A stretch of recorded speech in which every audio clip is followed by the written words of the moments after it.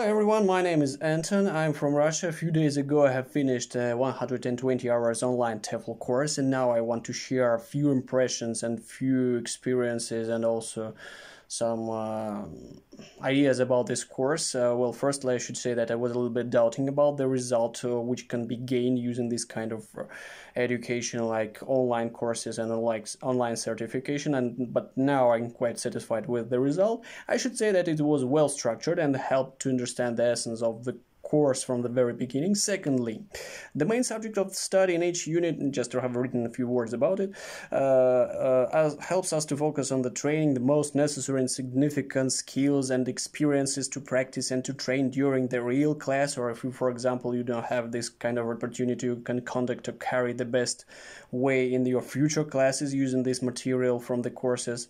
With students, by the way, of all ages, it, there is no matter if there are students of uh, who are elder or who are younger you can use the material given in the course uh, in the course and uh, in the lessons and uh, to appropriate it with any kind of groups of students with of any age and of any language level. Thirdly, I should point it out that units are structured in the way not to overload you with some unnecessary or excessive information, and you can feel free and comfortable to study it anywhere and any place, especially if you don't have enough time. For example, you can use any kind of platform like a tablet or notebook or your PC or a smartphone.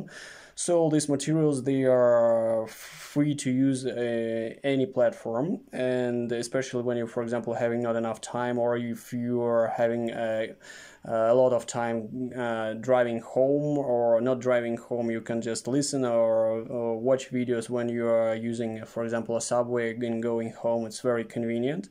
And above all, these video lessons uh, given the course, they are also available for downloading. So you can download these materials to your gadget, to your laptop, to your tablet, to your PC, and anything like this.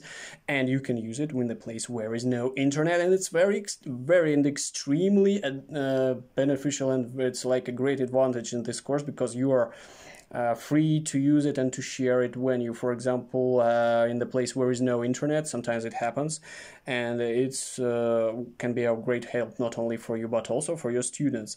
And of course, uh, this uh, very uh, important and very good that in this in this course they have thought about this, some additional uh, material like online um, internet resources which can be used when you have an internet and you can enrich uh, your lessons with these materials from these uh, resources in the internet to make it more interesting to add some more interaction to more uh, more interaction sorry uh, more involvements and to make your lessons more attractive to kids and it's really especially when you're, for example, using online learning.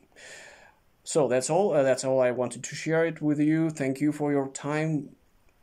Use this less. Uh, use this course if you want. Well, bye bye. See you.